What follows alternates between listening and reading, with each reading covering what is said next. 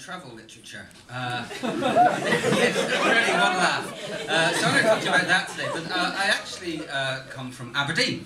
All the way from Aberdeen. Anybody from Aberdeen in the crowd? Yeah. Yeah, brilliant, fantastic. Anyway, Aberdeen is a city famous for having its uh, seagull, seagull snatching sandwiches, sandwich snatching seagulls, and being the hometown of Michael Gove, the only man I know who combined education and comedy to more devastating effect.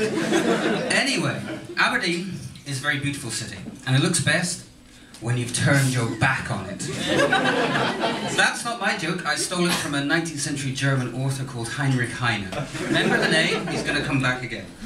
Okay, so I first discovered German travel literature lecture at the University of Oxford, a city famous for its car factory and for rat syphilis. yeah, rat syphilis, he founded the Club in case Okay, so uh, I was at this lecture, uh, also at it were the future stand-up comedian Richard Herring, uh, the future British Prime Minister Boris Johnson, and uh, George Osborne should have been there, uh, but unfortunately he was on holiday on Peter Mandelson's boat, which is a shame it wasn't Robert Maxwell's boat. That's a joke from 1988, uh, so uh, you know, so it gives me a sense of the audience there. But that was, ironically enough, the year at which I was at this lecture. I learned that. Um, travel writing, like stand-up comedians, like stand-up comedy, is an exercise in the creation of a persona. The travel writer tries to construct themselves as someone who is more intelligent, more sensitive to what's around them than the normal tourist going around on a package tour and so on and so forth. So, as an example of this, we have this man here, um, not me, him, uh, uh, who is uh, Johann Wolfgang von Goethe, who is famous for having a, an unpronounceable name, and also for his uh, two-part tragedy Faust of Fun, which he wrote with his sidekick Richard Schiller in the, in the 1780s. Anyway, uh, there's old uh, Goethe. Now Goethe, sick of the political satire he had to write in the court at Weimar, set off for Italy in 1786 to refresh his poetic muse. And if you read his uh, journals of the time, he creates himself very much in this kind of personality of someone who pays much more attention to the works of classical antiquity and the Renaissance paintings in all the churches, and he slags off all the other tourists who just wander around ticking off things on the lonely planet and not looking properly at what's going on.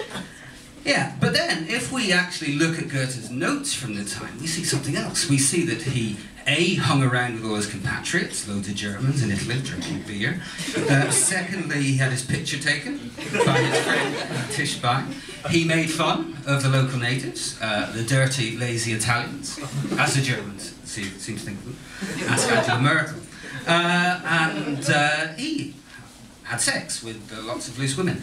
Uh, and he also wrote poetry, so he did basically everything that we do when we go on holiday. and uh, in the end, uh, he. uh, Yes, so we can think about travel writing uh, as, on the one hand, the construction persona, but also about sensory experience. Going abroad is about, you know, getting some sun, getting some sea, and so on and so forth.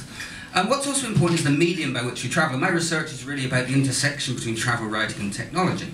Goethe uh, travelled by stagecoach, which is not the bus company, obviously. uh, an authentic comedy vehicle, in fact, the stagecoach. Heine, you remember Heine? We had Heine earlier on. Heine, Heine went on foot. He was a romantic poet. He went on foot and he tried to get as close to nature, you know, feel it under his feet. But unfortunately, in the 1830s, when Heine was writing, um, the trains arrived. Yes, indeed. Uh, they sort of appeared on the horizon. Heine says in the trains, interesting enough, trains improve our family lives. They distance us from our relatives. now, the rhyme's not good. That's my translation. But the sentiment, I think, is correct. Anyone who has stood on a lonely provincial railway platform in Inverness, in Elgin, Cowdenbeath, late at night, desiring to get back to the bright lights and the bright clubs of the big cities where the comedy celebrity comedians perform their road shows, they will know what Heine is saying. Okay, so there we go. So the trains arrive. They change travel culture in Germany for good. They bring in an age of scientific positivism. They bring in an age of technological control. And basically, a German Renaissance dead. Heine buggers off to Paris where he dies of syphilis in exile. And uh, the trains obviously also lead to those two uh, German uh, trips of the 20th century, should we call them, expansionism. Uh, the second of which, if you're working out where I'm going, was led by uh, a man called Adolf Hitler, uh, who was famous for his love of Alsatians and his lack of artistic talent. Okay, but I don't want to mention the war. No, I didn't even start it, so we're not going to mention the war. We're going to move on past the war. Don't. I teach German studies, so you know, it, it kind of keeps coming back. Anyway, there was a time when I did this routine with a Hitler t-shirt on the back. It was a really horrible Hitler t-shirt from the 70s of Hitler's European tour. Anyway, Yeah, no, it's really bad. Anyway, it's not quite as bad as some of the jokes coming in. Anyway, so... Uh, so, yes, so the, this Second World War thing, we forgot about it, yes. So in, uh, Germans still love nature and they still love to travel, in fact they still do these days. But after the Second World War, they weren't quite so welcome in very many countries because of uh, something we're not going to mention or anything. Okay, so uh, there was, however, Ireland. Okay, Ireland had remained neutral. Now here's a, something, a little historical fact you didn't know. Why did Ireland remain neutral? Basically because Hitler was an Irishman.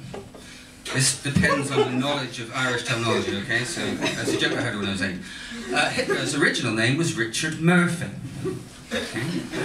And when he went, he left Ireland, went to Germany and changed his name to Dick Tater. Yeah, it's, it's uh, the old ones are the best, they say, that's about 35 years old. Okay, so back to Heinrich Böll. Back to Heinrich. Heinrich Böll, wandering around I tried to escape from Germany after the war, which was turning into this economic powerhouse, car factories everywhere, um, economic miracle, money, materialism. He wanted to get back to nature, back to, back to good old Ireland. So you can buy Böll's Irish Journal today, still. Um, it comes adorned on the cover with a 100% purely authentic pint of Guinness, just in case you forgot what Ireland was about. If you thought Ireland might have been about the fact there are no jobs, there's no abortion, there's mass immigration and Father Ted. So, if you were confused, then Böll will take you back to Ireland. Now, there's one anecdote that doesn't make it into Böll's book. It was an evening he spent in the pub with the future sit-down comedian, Dave Allen. Now, um, they discovered over a long evening of drinking that they had a mutual distrust of the Catholic Church, which is fair enough, a mutual love of whiskey and cigarettes, and also a penchant for travel. Böll, if I come back to my original joke, Böll had done a tour of the Soviet Union in the 1940s with the Wehrmacht and the Reichsbahn. Unfortunately, the return journey was rather ruined by the breakdown of this on online seat reservation system, mostly due to Russian army intervention. Um, uh, had wandered lowly as a cloud through the, mountains of County Wicklow in the 1950s looking for a pint, during the great comedy wars of those years, which were brought about by the Catholic Church's intention to ban the use of contraception in stand-up routines. Uh, they wouldn't be very happy with the material that comes later on tonight, let put it that way. Anyway, so, Allen eventually had to join Terry Wogan in exile in England. exile is obviously a very different topic. Uh, it's a very, it's, I mean, what I've been talking about really here is, is an escape from the industrialized world back into nature.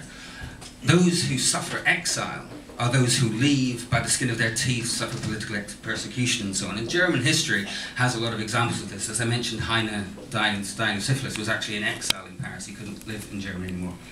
Just one of many. Uh, but imagine, imagine that you had escaped by the skin of your teeth and were sitting in your new neighbourhood in your new country, and there was a bus going round and round your neighbourhood with a slogan on saying, why don't you just fuck off? In polite English David Cameron kind of way. Um, but the topic of exile is a topic for another, another time.